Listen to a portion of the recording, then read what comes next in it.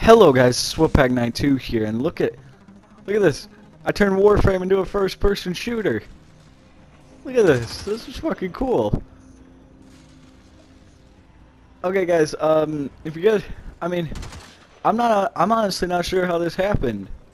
But I I think I think how this happened was I was I was in like one of those little closet areas. You, you'll know what I'm talking about if you check my Twitter. I posted a picture while I was in that closet area right when it happened.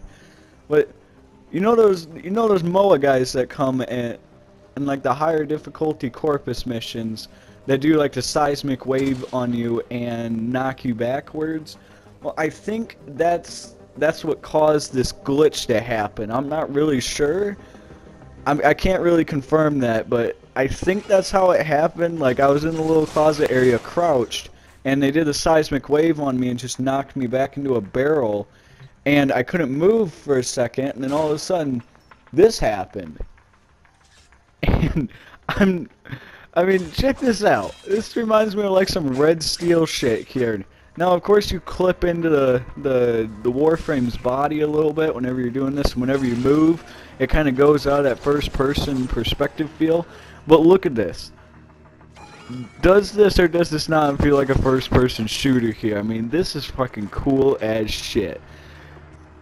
I mean, right here is the type of MOA that there's a MOA coming up that that's actually the MOA that only he's not exactly the same MOA because I already killed him, but it's the same type of MOA that that knocked me back with that seismic wave shit. Now, like I said, I cannot confirm this, but check this out, guys.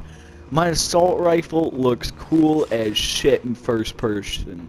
It actually looks like an M16.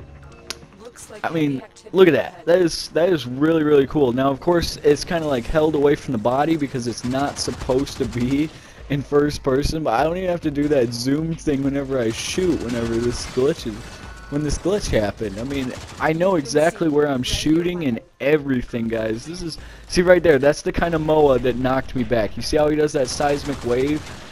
Now, you guys can go and try this for yourself. I mean, go off my theory on how this happened, but I, I honestly have no idea how this happened. It just like all of a sudden happened. Now, if you guys check my Twitter, I did actually post a picture of when this happened, like the little closet area, so you'll be able to get like a better description when you see that picture.